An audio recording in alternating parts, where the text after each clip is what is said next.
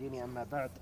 من الأقوال الذهبية من شرح الأربعين النووية العنوان لا تخف ولا تحزن قال ثابت بلغنا أن المؤمن حين يبعثه الله من قبره يتلقاه ملكاه اللذان كانا معه في الدنيا فيقولان له لا تخف ولا تحزن فيؤمن الله فيؤمن الله خوفه ويقر الله عينه.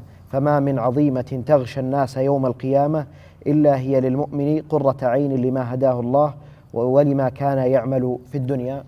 فالفائدة من العنوان هذا أنا أقول أن الشخص لا يخاف ولا يحزن يؤمن بالله سبحانه وتعالى ويتوكل عليه حق التوكل وكذلك يعمل بالأسباب وبإذن الله أنه ما ما راح يمسه شيء بإذن الله.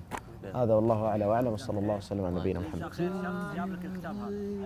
لا حول ولا قوة خير الجزاء ماما نورة. جدتي نورة هي اللي أرسلت هذا الماما الكتاب. ماما